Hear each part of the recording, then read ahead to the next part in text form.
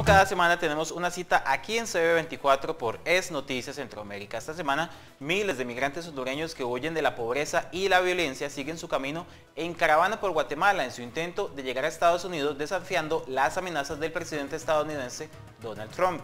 Y precisamente también eh, Amnistía Internacional presentó su informe sobre la situación crítica de violación de derechos humanos y represión policial que atraviesa Nicaragua. Todas estas informaciones las tenemos este fin de semana en su resumen Es Noticias Centroamérica, aquí por CB24. 24 horas conectados con la información.